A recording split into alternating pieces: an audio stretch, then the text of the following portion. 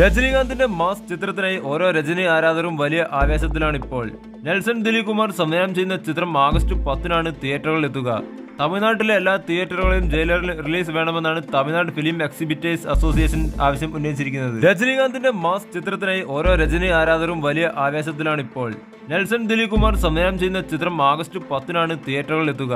തമിഴ്നാട്ടിലെ എല്ലാ തിയേറ്ററുകളിലും ജയിലറിൽ റിലീസ് വേണമെന്നാണ് തമിഴ്നാട് ഫിലിം എക്സിബിറ്റേഴ്സ് അസോസിയേഷൻ ആവശ്യം ഉന്നയിച്ചിരിക്കുന്നത്. രജനി ചിത്രത്തിന് സംസ്ഥാനത്ത് ലഭിക്കുന്ന സ്വീകാര്യത കണക്കിലെടുത്തും മോഹൻലാൽ സിനിമയുടെ ഭാഗമാവുന്നത് കൂടുതൽ പ്രേക്ഷകരെ തിയേറ്ററിൽ എത്തിക്കുമെന്ന വിലയിരുത്തലിലുമാണ് ഇത്രയും സ്ക്രീനുകൾ പിടിക്കാൻ അണിയർ പ്രവർത്തകർ തയ്യാറാവുന്നത്. രണ്ടായിരത്തി ഇരുപത്തി ഒന്നിലെ അണ്ണാത്തയ്ക്ക് ശേഷം എത്തുന്ന രജനീകാന്ത് ചിത്രം എന്ന നിലയ്ക്ക് കോളിവുഡ് കാത്തിരിക്കുന്ന പ്രധാന പ്രൊജക്ടുകളുടെ നിരയിലാണ് ജയിലറിന്റെ സ്ഥാനം വിജയ് നായകനായെത്തിയ ബീസ്റ്റിന്റെ പരാജയത്തിന് ശേഷം നെൽസൺ ദിലീപ് കുമാറിന്റെ തിരിച്ചുവരവായും വിലയിരുത്തുമ്പോൾ ബോക്സ് ഓഫീസ് കളക്ഷനിൽ വലിയ പ്രതീക്ഷയും ചിത്രത്തിനുണ്ട്. മോഹൻലാൽ രജനീകാന്തിനൊപ്പം ആദ്യമായി ഒന്നിക്കുന്നു എന്നതും പ്രത്യേകതയാണ്.